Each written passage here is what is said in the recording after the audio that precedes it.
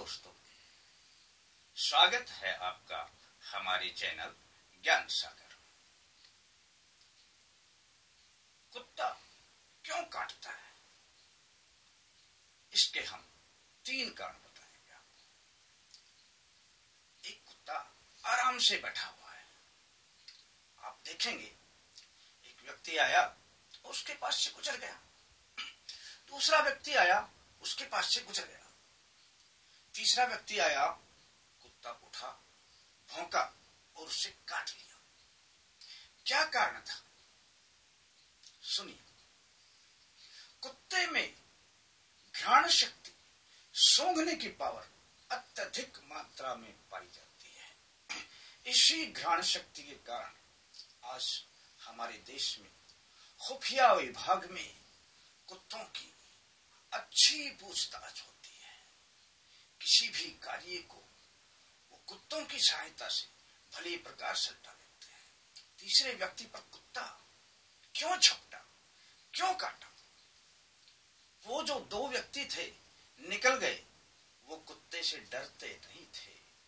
उनके दिमाग में किसी प्रकार की कोई ऐसी बात ही नहीं थी कि कुत्ता बैठा हुआ है।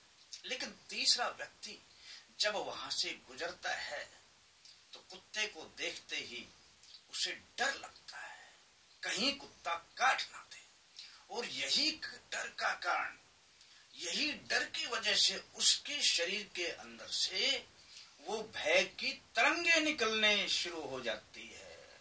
और वो तरंगों को वो कुत्ता अपनी घ्राण शक्ति के द्वारा सूंघ लेता है कि ये व्यक्ति मुझसे डर रहा है, भयभीत है, तुरंत कुत्ता उठता है, भौंकता है और काट लेता है उसे।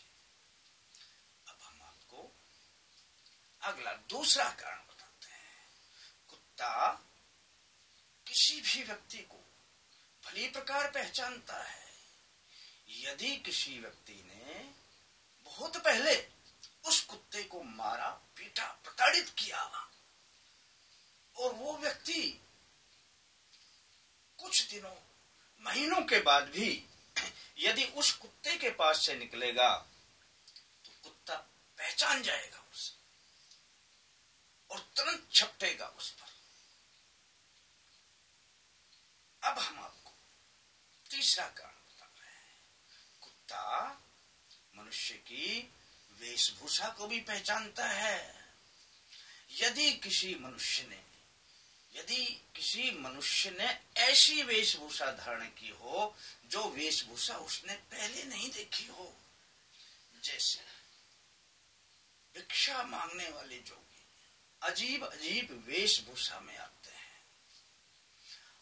आपके गाँव में खेल दिखाने वाला बहरूपिया अलग अलग वेशभूषा में आता है। ऐसी वेशभूषाओं को देखकर जो वेशभूषाएँ उसने देखी नहीं, वो तुरंत पहचान जाता है, ये आदमी कोई अन्यथा आदमी है, ये हमारा आदमी नहीं हो सकता। कुत्ता उठता है, भौंकता है और छपट पड़ता है उसके ऊपर। प्रिय दोस्तों, ये तीन मुख्य कारण हैं कुत्ते के भौंकने और काटने के।